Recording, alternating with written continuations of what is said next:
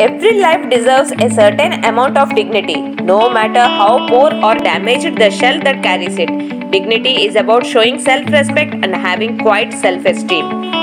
द्रौपदी संपूर्ण नारी थी वह कार्यकुशल थी और लोक व्यवहार के साथ घर गृहस्थी में भी पारंगत थी अपने कार्य व्यवहार के कारण वह पाँचों पांडवों के लिए सम्मानित थी द्रौपदी खुद एक नैतिकता का शिकर है, क्योंकि महाभारत में द्रौपदी पुरुषवादी व्यवस्था को चुनौती देती है। जब पाँचों पति द्रौपदी को जुए में हार गए तो द्रौपदी ने बड़ी सभा में युधिष्ठिर से सवाल पूछवाई कि युधिष्ठिर पहले द्रौपदी को हारे थे या खुद को? अगर वे पहले खुद को दाव पर लगाकर दास बन चुके हैं तो उन्हें द्रौपदी को हारने का हक नहीं। क्योंकि दास के पास फिर ऐसी कोई वस्तु नहीं रह जाती, जिस पर वह अपना स्वामित्व चलाए। और वह पाँचों पांडवों के पत्नी थी, सिर्फ़ युधिष्ठिर के नहीं। द्रौपदी का व्यवहार ही युक्ति संगत है। जब युधिष्ठिर जुए में सब कुछ गवाया और द्रौपदी के चीरहरण के बाद किसी संभावित अनर्थ को टालने के लिए धृतराष्ट्र ने द्रौपदी को तीन वर मांगने को कहा तब भी द्रौपदी ने अपना विवेक का इस्तेमाल कर दो वर में अपने पतियों को दुर्योधन के दास होने से मुक्त कराया और उनके अस्त्र शस्त्रों को भी।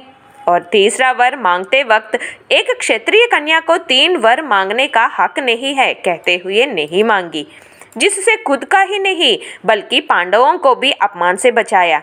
उसकी इस विनयशीलता की तारीफ़ खुद करने की महाभारत में द्रौपदी के साथ जितना अन्याय हुआ, उतना अन्याय किसी अन्य स्त्री के साथ नहीं हुआ। द्रौपदी ने स्वयंवर में केवल अर्जुन को वर चुना था, लेकिन महाभारत काल में बहुपति विवाह का प्रचलन नहीं होने के बावजूद भी पाँचों पांडवों को द्रौपदी ने अपने पति स्वीकार करना पड़ा। कुंती के इस फैसले से द्रौपदी इनकार नहीं कर सकी। द्रौपदी पाँचों पतियों की पत्नी बनकर उपहास का पात्र बनेगी। जानते हुए भी, ना चाहते हुए भी इसे मंजूर किया। लेकिन पाँचों पतियों की पत्नी के नाते भी द्रौपदी का आचरण आदर्श और अनुकरणीय माना गया। तथा महाभारतकार ने उसके इस पत्नी रूप को देवी की गरिमा दी।